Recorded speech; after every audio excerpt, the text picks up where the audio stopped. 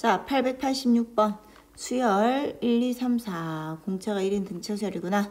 자, 첫 번째 시행에서는 이 수열의 홀수 번째 항을 택하고 두 번째 시행에서는 또 이 앞에 항의 홀수 번째 항, 뭐 이런 걸 계속 택한데 자, 그때 일곱 번째 시행에서 만들어지는 수열의 제3항 해보자. 자, 첫 번째 시행에서는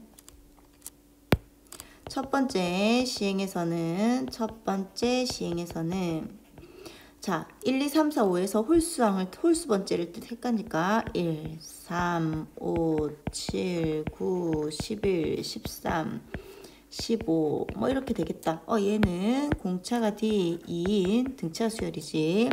그 다음 두 번째 애들은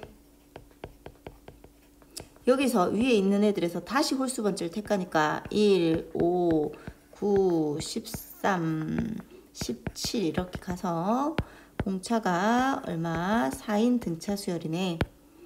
그 다음 세 번째에서는 위에 애들에서 다시 홀수 애들을 택하니까 이런 애들 택하는 거지. 1, 9, 17 가서 공차가 얼마? 8인 등차 수열이다. 어? 무슨 규칙이 보이나? 공차가 2의 1승, 2의 2승, 2의 3승 이렇게 가겠네. 자, 그럼 마지막 일곱 번째. 나는 일곱 번째 애가 중요한 거야. 일곱 번째는 결국 공차가 얼마겠어? 2의 7승이겠네. 자, 그럼 다 했다. 자, 일곱 번째 아이의 세 번째 항. A3은 첫째 항 A1 플러스 2D고 자 첫째 항은 다 똑같이 1이지 1 플러스 2 곱하기 2의 7승이라서 257이 되겠습니다.